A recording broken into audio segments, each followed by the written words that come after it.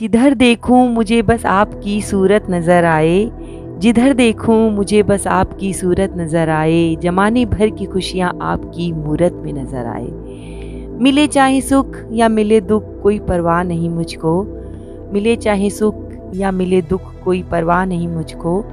डाल दो एक नज़र रहमत की मेरी दुनिया संवर जाए। सभी हनुमान भक्तों को मेरा राम राम। दोस्तों, आज मैं आपके लिए फिर से एक सच्ची अनुभूति लेकर आई हूँ, एक सच्ची घटना लेकर आई हूँ। लेकिन उससे पहले मैं आपसे पूछना चाहती हूँ, हनुमान जी से जुड़ा हुआ एक बहुत ही रोचक प्रश्न।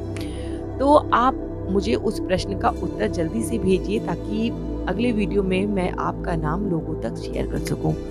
दोस्तों तो प्रश्न मेरा ये है कि हनुमान जी को माता सीता ने अष्ट सिद्धि और नव निधि का वरदान दिया था, ये सब लोग आप सब लोग जानते होंगे।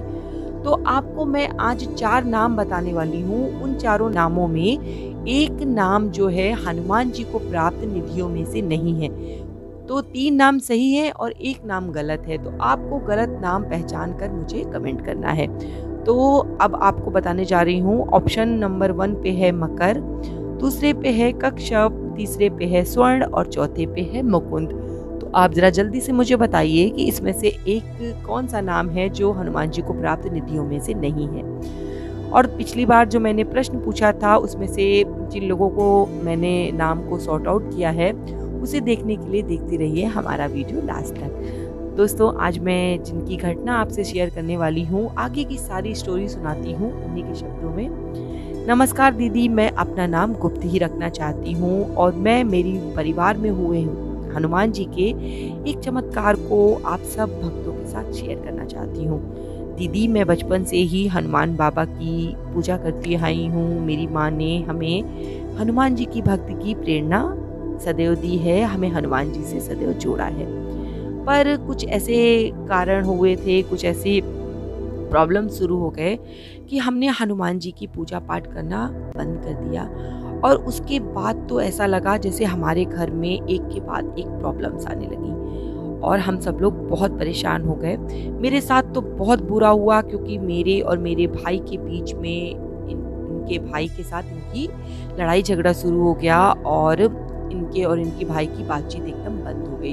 इनके भाई ने इनसे बात करना बंद कर दिया और इनको दोष देने लगा कि तुमने मेरी ज़िंदगी ख़राब कर दी है। और तुम्हारी वजह से मेरे साथ जो हुआ है, वो तुम्हारी वजह से हुआ है।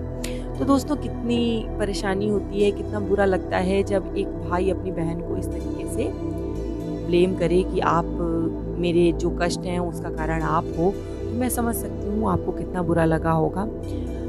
दीदी, हमें एक पंडित जी से ये पता चला कि हमारे घर में किसी ने काला जादू करा दिया है, जिसकी वजह से हमारे घर में हमेशा कलेश का माहौल रहता था, हमारे घर में लड़ाई झगड़े बहुत ज़्यादा होते थे।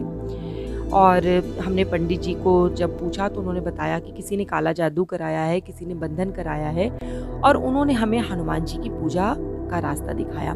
दीदी, आप विश्वास नहीं करेंगी कि जैसे ही हमने हनुमान जी की पूजा पाठ प्रारंभ की, हनुमान चालीसा का पाठ हमने प्रारंभ किया फिर से अपने घर में तो धीरे धीरे जो घर का माहौल था फिर से नॉर्मल होने लगा और शांति का वातावरण होने लगा और परिवार में जो कलेश हो रही थी वो भी खत्म हो गई और मेरे और मेरे भाई के बीच में जो तीन साल से बातचीत बंद थी, वो फिर से शुरू हो गई।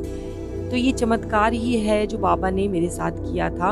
अब तो मेरा भाई मुझे इतना केयर करता है कि मैं जब जॉब पर जाती हूँ तो मुझे बार बार फ़ोन करके पूछता है कि तुम ठीक से पहुँच गई या तुम्हें बस मिली? और कई बार मुझे कॉल भी करता है।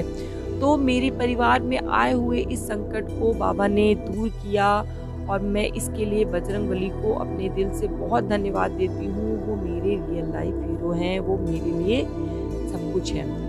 तो आपके लिए ही नहीं, मुझे सुनने वाले ना जाने कितने लोगों के हीरो जो हैं रियल लाइफ हीरो जो हैं, वो बाबा ही हैं, मेरे भी हैं और बहुत से लोग, बहुत सब जो लोग हैं जो बाबा को प्रेम करते हैं, उन्हें हीरो ही समझते हैं।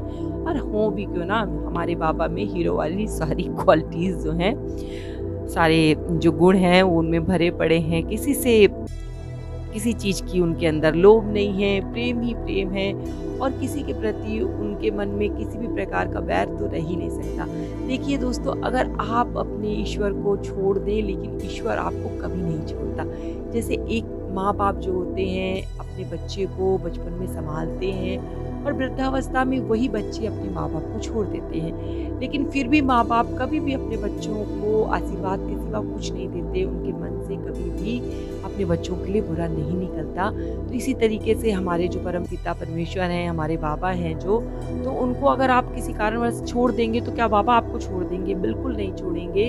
हनुमान जी की पूजा में एक यही तो निराली बात है कि आप कुछ दिन ही अगर हनुमान जी की पूजा करते हैं तो बाबा आपका ज़िंदगी भर साथ निभाते हैं। तो पिछली बार जो मैंने प्रश्न पूछा था कि हनुमान जी की उल्टी प्रतिमा कहाँ पे स्थापित है तो उसका सही उत्तर है इंदौर के सांवेर ज़िले में। और अब उन लोगों के नाम आपके साथ शेयर करती हूँ कि जिन्होंने मुझे सही उत्तर भेजा था।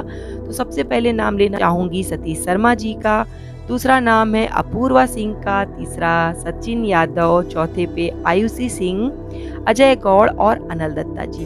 आप सभी लोगों को बहुत बहुत बधाई और बाबा आपके ऊपर ऐसी ही कृपा दृष्टि बनाए रखे। और दोस्तों, अगर आपकी कोई सच्ची अनुभूति हो जो आप हमसे शेयर करना चाहते हैं तो स्क्रीन पे दिए जा रहे ईमेल एड्रेस पे हमें मेल कर सकते हैं या आपकी कोई प्रॉब्लम है जो आप हमसे शेयर करना चाहते हैं, उसका कोई हल जानना चाहते हैं तो भी आप हमें मेल कर सकते हैं। हमारा प्रयास रहेगा आपको बाबा से जोड़ने का और बाबा से जुड़ी हुई ऐसी ही अच्छी अच्छी घटनाओं को आप तक पहुँचाने का। अब मैं अपना वीडियो आज यहीं ख़त्म करती हूँ और अगर आपको वीडियो पसंद आया हो तो आगे शेयर ज़रूर कीजिएगा ताकि हनुमान जी के भक्तों की एक चेन सी बनती चली जाए। और मैं बाबा से प्रार्थना करती हूँ कि मुझे सुनने वाले हर भक्त की हर मनोकामना पूरी हो और आपके ऊपर बाबा की कृपा दृष्टि ऐसे ही बनी रहे। इसी के साथ जय श्री राम, जय बाबा की।